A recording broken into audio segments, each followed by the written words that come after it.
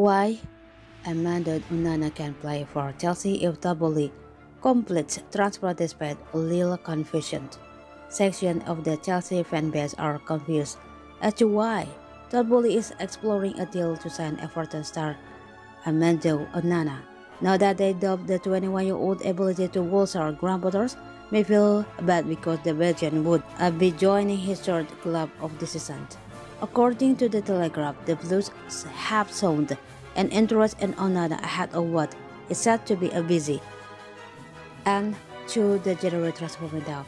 It said that the West Londoners are considering whether or not to try and take advantage of the ensuing crisis of Everton amid rumors taking off Frank Lampard. The former Blues player has reportedly been dismissed from his position as head coach at Goodison Park, with the Toffees fighting to stay in the top flight. Everton was in the Premier League relegation danger zone, but Onana has impressed under Lampard.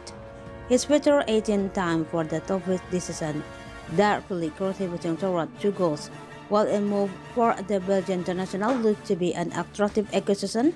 Some fans and social media have questioned whether Onana would be eligible for Chelsea this time if he were to join in January. Despite popular belief, the midfielder has in fact not featured for Lille this season, meaning that he would be eligible to play for the Blues.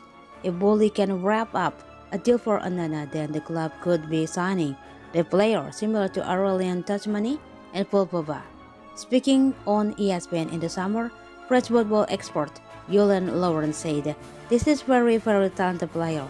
He's very exciting player and midfielder who can play pretty much all across the midfield. For me, he is a great box to box because he's powerful, he's good on the ball, he's tall, he's strong, he will drive the ball very well.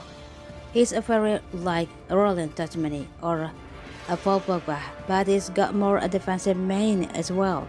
He can sit and play a little bit deeper as well, although you will lose a lot of his potential going forward if you restrict him to a more defensive position. I think he's got all the qualities to play in English football. I think this is a league that's made for him.